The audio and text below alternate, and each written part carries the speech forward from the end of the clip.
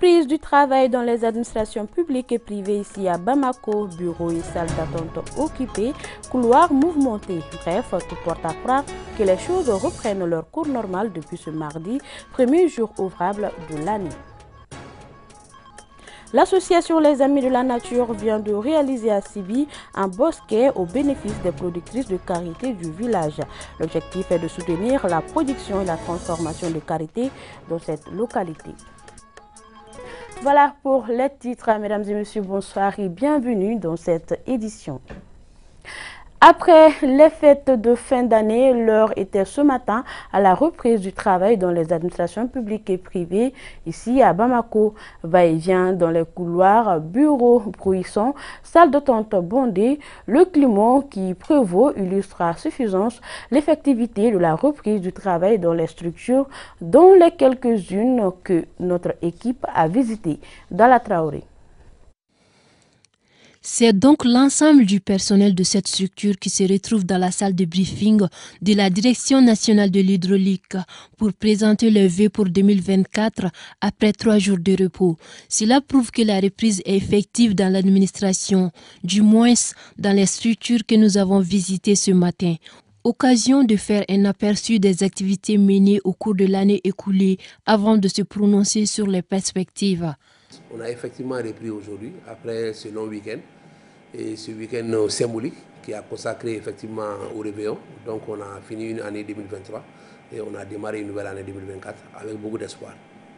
Et ce matin, on a repris le travail avec beaucoup d'énergie, en espérant qu'effectivement la nouvelle année va être l'année des bonnes choses, où nous allons bien travailler, donner de l'eau potable aux Maliens, partout dans le pays. Et voilà. Le personnel l'a bien fêté, on peut dire Alhamdoulilah, parce qu'on a fait une réception hier avec, euh, en invitant tout le monde, au fait, pour se rassembler, faire une petite invitation entre nous et tout. Donc on peut dire Alhamdoulilah, ça va. La reprise, on a commencé ce matin tôt, à 8 heures. Tout le monde est au poste, donc ça va quoi. Cette reprise est aussi une occasion pour les différentes structures de présenter leur vue. Bah, je ne peux que souhaiter une très bonne année. Euh, 2024 à tout le monde, à tous les Maliens, que cette nouvelle année qui vient de commencer, que ça se passe dans l'attente, dans la paix, tout le bonheur du monde. Pour nos familles, nous souhaitons une très bonne année 2024, que ce soit une année de santé pour toutes nos familles, une année de succès et une année de prospérité pour tout le monde. Par rapport à la pacification du pays, nous souhaitons plein succès à nos femmes. Si ces défis, c'est nos femmes qui doivent le, le relever, plus ça dit, la population ça dit, qui va venir en appui. Donc nous souhaitons ça dit, à nos femmes plein succès, courage, beaucoup d'abnégation par rapport ça dit, à leur euh, tâche de, de, pacification de notre pays. C'est avec beaucoup d'espoir que les responsables de ces structures ont profité de l'occasion pour inviter les employés à s'investir davantage pour cette nouvelle année 2024. Pendant les fêtes de fin d'année, de nombreuses personnes sortent pour célébrer, ce qui engendre une augmentation du trafic et des accidents de la route. Malheureusement, ces incidents sont souvent liés à une circulation dense et près de 90% impliquent des motocyclistes. Un constat préoccupant étant donné l'usage répandu de ces engins chez nous. Awa Sidibé est allé à la rencontre du chef de section des urgences du CHU Gabriel Touré pour faire le constat des accidents de la circulation routière durant la fête de fin d'année. C'est dans ce reportage. Ici, on est aux urgences du CHU Gabriel Touré. Malgré les dispositions exceptionnelles, le service d'urgence est débordé par les nombreuses victimes marquées par les conséquences de l'ambiance de la fête de la Saint-Sylvestre. Cette année, on a reçu 100 patients aux urgences. Sur les 100 patients, 110 cas étaient liés aux accidents de la circulation. On va dire 2022, nous avons reçu en moyenne 112 patients sur la journée du 31, contrairement à cette année. Donc il y a probablement une, une hausse et qui s'explique parce que le 31, un Sotrama qui a dérapé et qui a entraîné beaucoup de blessés. Ça, c'est à Bamako même. Cette année, un cas de décès dû aux accidents de la circulation routière est à déplorer. L'incivisme de certains usagers sont les principales causes de ces accidents. Les types d'accidents sont dominés par les accidents impliquant les motos. Beaucoup plus de motocyclistes et c'est eux qui sont les plus blessés en général parce qu'ils se blessent aux membres supérieurs et inférieurs, ils se blessent à la tête par défaut de protection. Il y a des choses qui sont connues de tout le monde. Quand il y a une grande vitesse, on ne maîtrise pas forcément son appareil. La réglementation voudrait que les vitesses soient limitées en, agglomération. Il y a le fait qu'il y a des accidents qui se produisent, oui, en état d'ivresse. Au cours des, fêtes de 31, ça veut dire que les gens sortent en fin de nuit, il y en a qui, en rentrant à la maison, sont imprégnés d'alcool et font des accidents. Faites ou pas, la sacralité de la vie doit imposer à tous le respect scrupuleux du code de la route et une conduite responsable pour prévenir les accidents. L'affluence était impressionnante au parc national de Bamako ce 1er janvier 2024. Cette, forte affluence se fait remarquer après chaque réveillon de fin d'année. Cela pour permettre aux parents et aux enfants de passer un bon moment ensemble dans la convivialité. Pour en savoir davantage, suivons ce reportage de Samba Sanogo qui a fait un tour au parc national.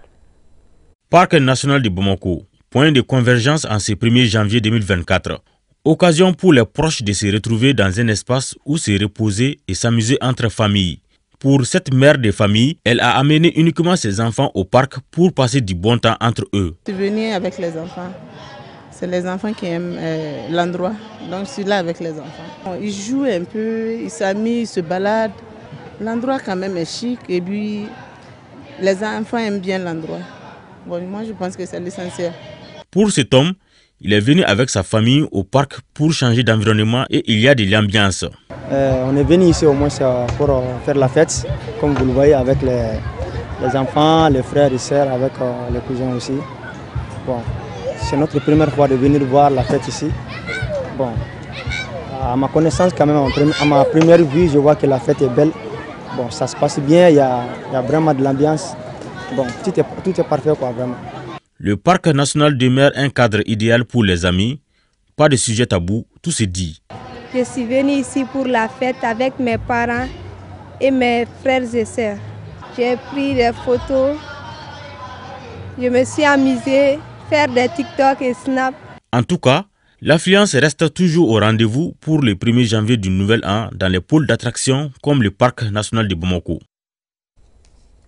Sur un tout autre sujet, inauguration jeudi d'un bosquet a subi dans le cercle de Kati, situé à 45 km de Bamako. Cet événement est initié par l'Association des Amis de la Nature qui a boisé des plans de carité pour la coopérative des femmes productrices de karité. L'objectif est de soutenir la production et la transformation de karité dans cette localité et lutter contre le réchauffement climatique. Envoyés spéciaux de retour des Sibi, Cheikh Omar Kamara et Adama Dambeli. L'objectif de ce bosquet de 80 plants de karité sur une superficie de 2 hectares est de soutenir la production et la transformation locale de karité.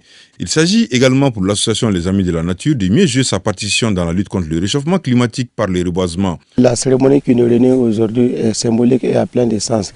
Il s'agit de l'inauguration de 800 pieds de karité dénommé Bosquet de karité au profit des femmes productrices d'hiver de karité de la commune rurale de Sibi.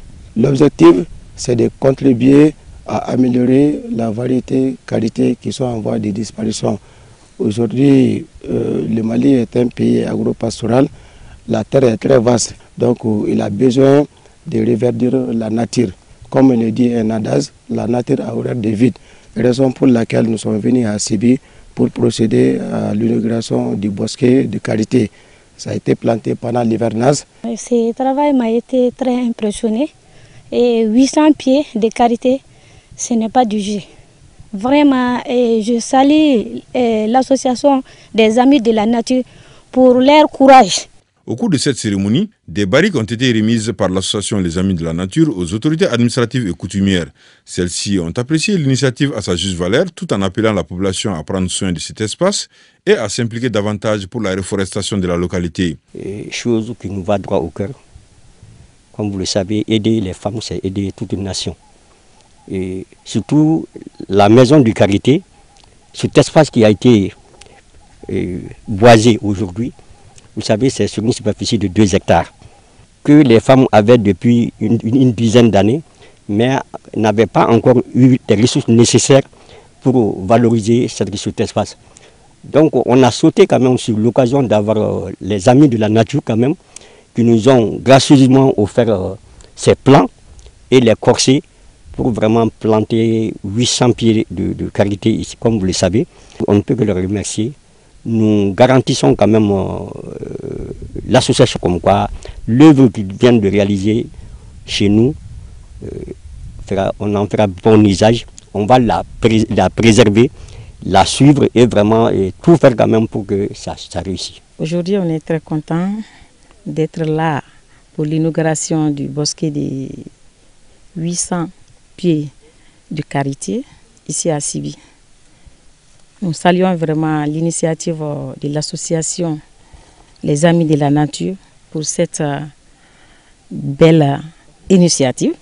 Ce qu'ils ont fait pour Sibi, on demande vraiment l'implication de la population de Sibi, vraiment pour la réussite euh, de cette implantation. L'association Les Amis de la Nature œuvre depuis sa création en 2003 pour l'assainissement et la protection de l'environnement. En 20 ans d'exercice, elle a déjà planté des milliers d'arbres à travers le Mali. Un prélude à la grande nuit du Téléthon prévu pour ce samedi à l'hôtel de l'Amitié, le RTM en partenariat avec le ministère des Sports était face à la presse pour parler du planning de la dite soirée. Ce Téléthon a pour but de créer une chaîne de solidarité autour des aigles du Mali engagés pour la CAN 2024 en Côte d'Ivoire. Mariam Sissoko pour le reportage. Les aigles du Mali sont appelés à défendre dans quelques jours le drapeau national à l'occasion de la 34e Coupe d'Afrique des Nations prévue du 13 janvier au 11 février prochain en Côte d'Ivoire. La mobilisation est grande autour de nos ambassadeurs pour une bonne participation à cet événement. Les Maliens de tous bords sont donc appelés à manifester leur soutien à l'équipe nationale. Les télétons de ce samedi rentrent dans ce cadre. parmi les missions de la commission c'est non seulement de mobiliser la population autour des aigles, mais c'est aussi de mobiliser des ressources. le point de presse aujourd'hui, c'est pour dire aux Maliens qu'il y a un téléthon qui s'annonce le samedi. Et ce téléthon-là, ce sera vraiment au profit de la participation des Maliens autour des aigles. L'URTM, dans sa tradition mission de service public, est appelé à, organiser euh, le téléthon pour les aigles du Mali.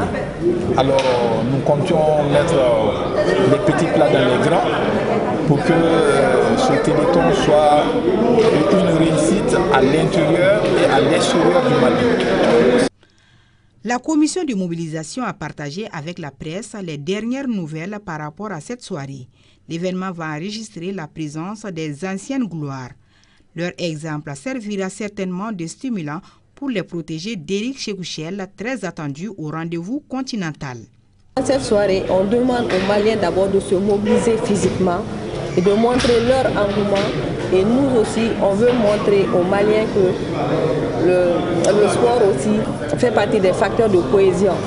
Et pour que les gens puissent se mobiliser derrière les aigles, pour montrer aux Maliens que les aigles sont là, ils partent à notre nom et il faut qu'on les supporte. Et on veut demander aussi aux Maliens de supporter cette participation et que chacun puisse contribuer comme il peut. À cet effet, nous avons mis en place trois choses. Il y a un compte bancaire déjà qui existe depuis un moment. Il y a aussi un numéro court sur lequel les gens peuvent envoyer des SMS. Et il y a aussi un numéro de MobiCash et de Orange Money où les gens peuvent envoyer leurs contributions. Soutenir nos aigles est un devoir citoyen. Chaque Malien doit donc manifester sa solidarité à l'endroit de nos porte-drapeaux pour renforcer davantage leurs conditions dans la délégation malienne. C'était le temps a donc pour but de créer une chaîne de solidarité autour des aigles du Mali engagés pour la Cannes 2023 en Côte d'Ivoire. Ainsi se referme cette édition. Merci à vous de l'avoir suivi. Bonne suite de programme sur RTM2. Thank you.